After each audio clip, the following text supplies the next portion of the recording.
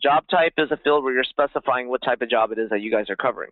Okay, so depo, video job, a video deposition, a trial, presentations, hearings, whatever it is that you guys will do. In my example, I'll choose a depo.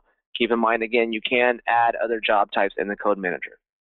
Uh, your business unit, you can choose your default again in user preferences, um, but you can also choose pull the drop down and you can select any business unit that this job should pertain to. If you only have one business unit in your RB setup, then of course it'll default to your one you never have to really worry about that field. Witness name was self-explanatory. This is the witness that will be deposed. So we'll just say uh, Eric Davidson here. If you have multiple witnesses, again, I would separate it with it by a comma and type in more name. If they're an expert, select an expert type. If not, don't worry about it.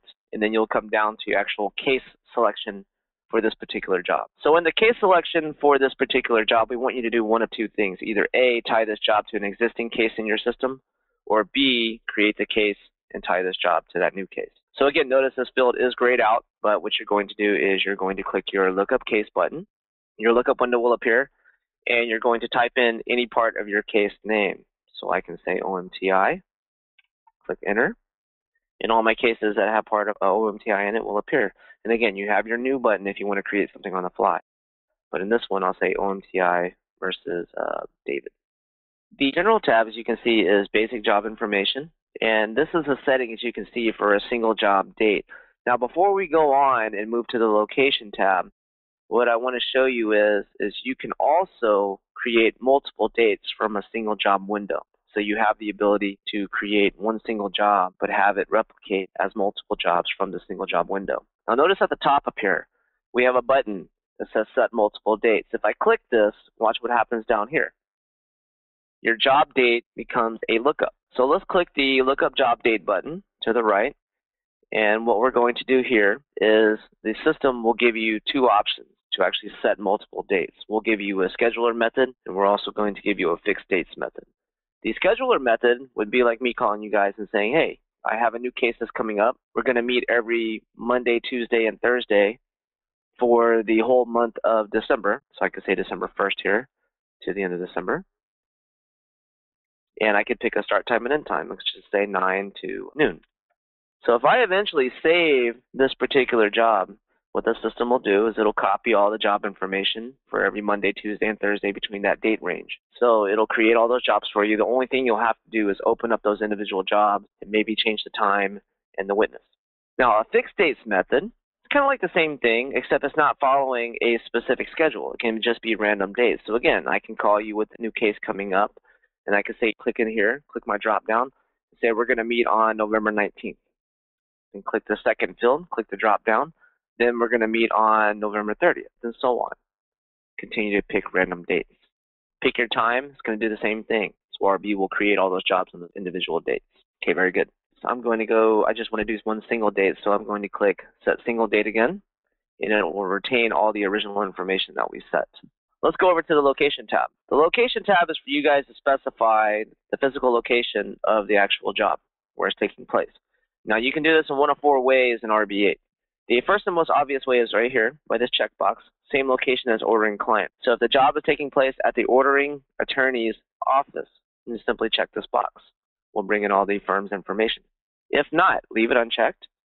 And basically you'll have uh, a lookup from firm, a lookup from location, and a manual entry option. So we'll give you three other options here. Lookup from firm would basically be you guys saying, okay, this job is going to take place at another firm's office, and that firm is in my system. So I'm simply going to search and select that firm. So I could say look up from firm here, click my search firm button to the right, and just type in any part of that firm name.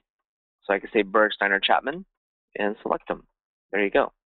Your second option in here under the drop down is locations. So we do give you a part of the system called locations to create physical job locations that you go to. So not necessarily, of course, a law firm's office, but it could be a hotel, a meeting centers, conference rooms, doctor's offices, whatever.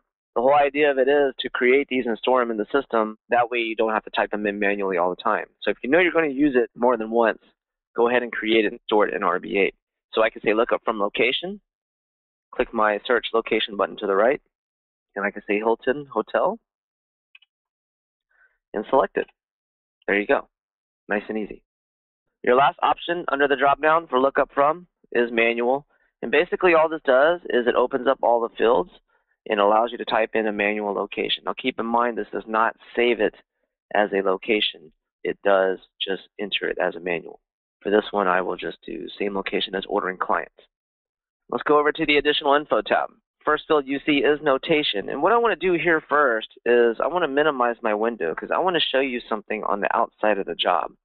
When you're actually looking at your calendar manager, when you're looking at the results, uh, one of the columns you'll actually see here, if I scroll to the right, is notation. So this notation field here, what it is, this is a free text field. You can type in here whatever you want. Now what a lot of people will actually do is they'll actually type in something in here that's important information about the job so their staff can actually see it on the outside of the job so they don't have to open it up and view that important information.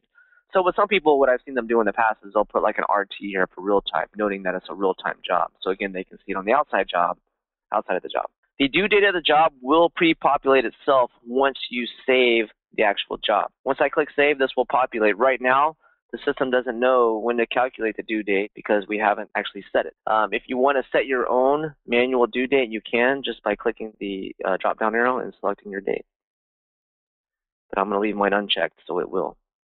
All right, coming down below, confirmation notes. These notes are important. Whatever you type in here, they show up on the confirmation letter to the client. Okay, so be careful what you type in there. They will see those. These notes down below, resource notification notes, these are for the assigned resource. So if you have important notes to type in about the job to uh, tell your resource, then you can type those notes in here. They will show up on the worksheet. We do have the spell check buttons here for both notes fields. So if you're unsure of your spelling, we can check it for you. What I'm going to do now is I'm going to save this job. And once I click save, you'll see the job number appear, you'll see the status appear, and this due date will appear. So let's click save. And there we go. We have our job date number. We have our status. And now we have a due date.